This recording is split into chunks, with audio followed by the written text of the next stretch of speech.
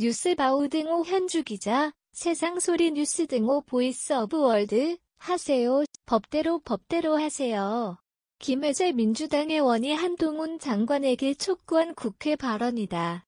19일 국회 대정부질에서의 공방으로 김건희 수사와 이재명 수사 모두에 대해 장관이 수사 지휘하라는 김혜원 주문이다.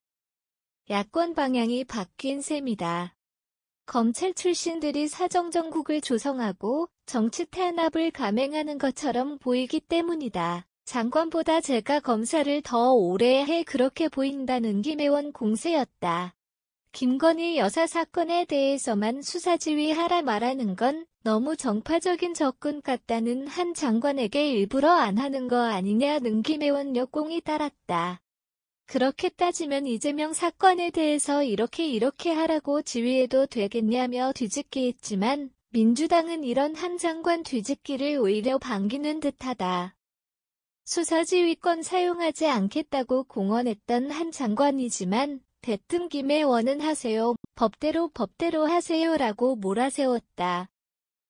김건희 수사 물고 늘어질 심산이다. 이재명 수사는 선거법 위반 기소 상태라 손해볼 것 없다는 이유로 보인다. 검찰이 전방위 형태로 끝까지 파헤칠 거로 보여 굳이 이를 따질 필요가 없다.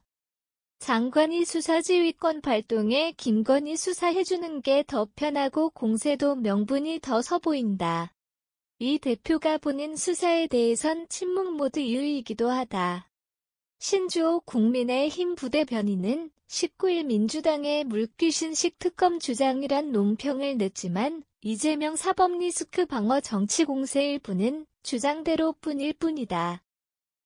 이 대표 사법 리스크 방어를 위해 민주당이 정치 공세 도를 넘어 김건희 특검을 물귀신처럼 집요하게 물고 늘어지는 이유는 이제 김건희 수사에 있다.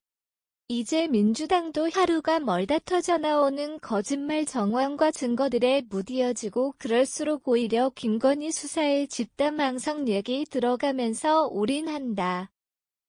신 부대변인은 19일 해외 출장에 동행한 유동규 전 본부장과 고 김문기 전 처장 출장비 100여만 원이 추가로 발생한 것이 파악됐다는 언론을 인용했다. 검찰 공소장 얘기다. 고 김 처장은 애초 출장 참석자가 아니었는데 추후 변경된 사유가 공소장에 명시되었다. 이 대표가 모른다고 했던 고 김 처장이다.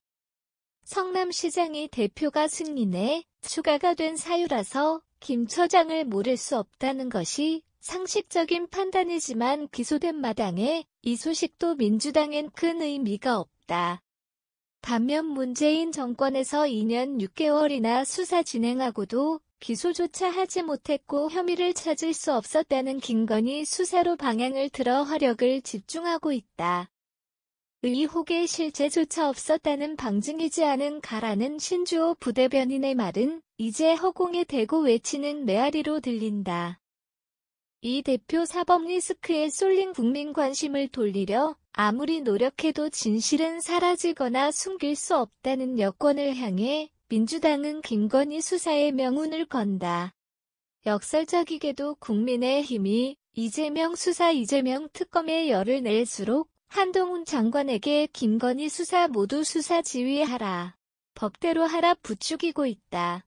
현주 기자 사코파워 앳 아웃룩 캄루지바우.com